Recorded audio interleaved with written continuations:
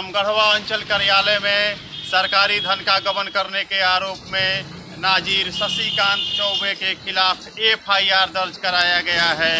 यह एफआईआर पूर्वी चंपारण जिलाधिकारी के आदेश पर दर्ज कराया गया है जिस पे स्थानीय पुलिस अपनी जाँच कार्रवाई शुरू कर दी है। इसकी जानकारी देते हुए रामगढ़वा अंचल के अंचलाधिकारी विजय शंकर सिंह ने डेली वर्ल्ड को बताया कि कुछ जैसे पिछले साल दो लाख डायरेक्ट अमाउंट हमें दो लाख तेरह हज़ार या उन्नीस हज़ार रुपया जो है नहीं जमा हो पाया था। जिसके चलते तत्कालीन नाजिर पर प्राथमिकी दर्ज की गई है। नाजिर पर तत्कालीन हाँ, नाजिर पे? नाजिर पर उनका नाम क्या हुआ सर? शशिकांत शशिकांत चौबे नाजिर साहब का नाम हुआ। हाँ, और डीएम साहब ने खुद इस पर संज्ञान लिया हुआ है। जी जी। तो इसके बारे में सर? हाँ, तो उस पर एफ़ दर्ज हो गया है। प्राथमिकी अब अनुसंधान चल रहा है बोले आप हैं रामगढ़वा अंचल के अंचलाधिकारी विजय शंकर सिंह। अंचल कार्यालय का सारा काम ठप पड़ा हुआ है। इसका क्या कारण है? में एक्चुअली हम आदापुर के अं- आदापुर के अंचल अधिकारी हैं और यहाँ प्रभार में है। तो प्रभार मिला हुआ है? प्रभार मिला हुआ है। तो दोनों जगह देखना पड़ता है इसलिए थोड़ा सा है। और सर सारे बाढ़ पीड़ितों को मुआवजा दिया जा चुका है। एक्चुअली यहाँ पाँच ही पंचायत में बाढ़ पीड़ितों को मुआवजा देना था। टोटल सोलह पंचायत है। हाँ दिया जा चुका है। कुछ जो है खाता वाता गलत रहने के चलते जिसका नहीं आरटीजीएस हो पाया है उसको सुधार के हम लोग कर रहे हैं। अंचल कार्यालय में दस्तावेज़ एवं कई तरह के कागजात खोजने के बावजूद भी लोगों को नहीं मिल पा रहा है। इसका क्या कारण है? नहीं आपका प्रश्न समझे नहीं। दस्तावेज़ खोजने मतलब?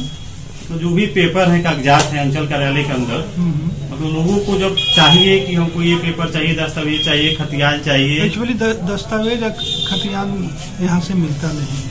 नहीं। खतियान के लिए जिला अभिलेखागार से लेना होगा उसका नकल। हमारे यहाँ खतियान का नकल देने का कोई प्रावधान नहीं पता चला है सर कुछ कर्मचारियों ने पुराने समय में आपके प्रभार लेने से पहले सरकारी खजाने के पैसों का गबन किया।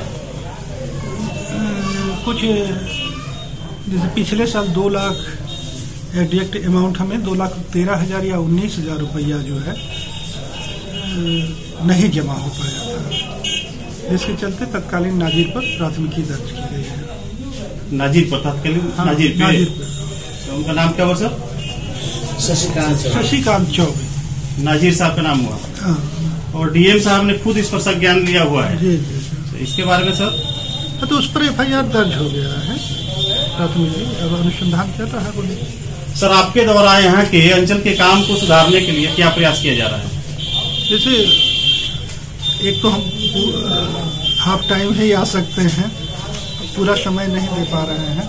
फिर भी प्रयास है कि जहाँ जहाँ तक हमसे बनता है मतलब कर रहे हैं।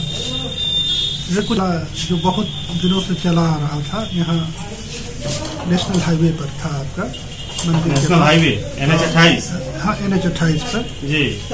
तो उसमें भी आशातीत सफलता मिली हमने खाली करवाया।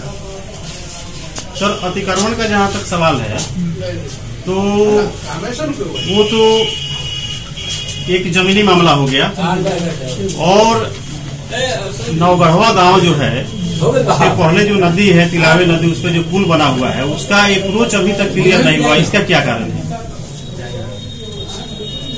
इसमें हमको जानकारी है। बहुत पहले एसडीओ साहब बीडीओ साहब और यहाँ जो भी अंचलाधिकारी प्रभार में थे या पोस्टेड थे उस समय आप थे या दूसरे कोई थे? नहीं, हमको तो सितंबर में एक सितंबर से। आप एक सितंबर 2017 से हैं। सत्रह से। तो अभी आपको इसका मतलब कोई जानकारी कोई सूचना अप्रोच के लिए कहीं से? कहाँ ये सामने वाला जी सामने वाला था। कहीं पे पत्र आया है उसमें। पत्र कहाँ से मिला है अब अभी तो एग्जैक्ट नहीं बता सकते हैं उसको। उसमें हम लोग देख रहे हैं। संभवतः वह ज़मीन बंदोबस्त है जिनको हटाना है। जी। तो वह ज़मीन संभवतः बंदोबस्त है। हम उसमें अध्ययन नहीं कर पाए हैं।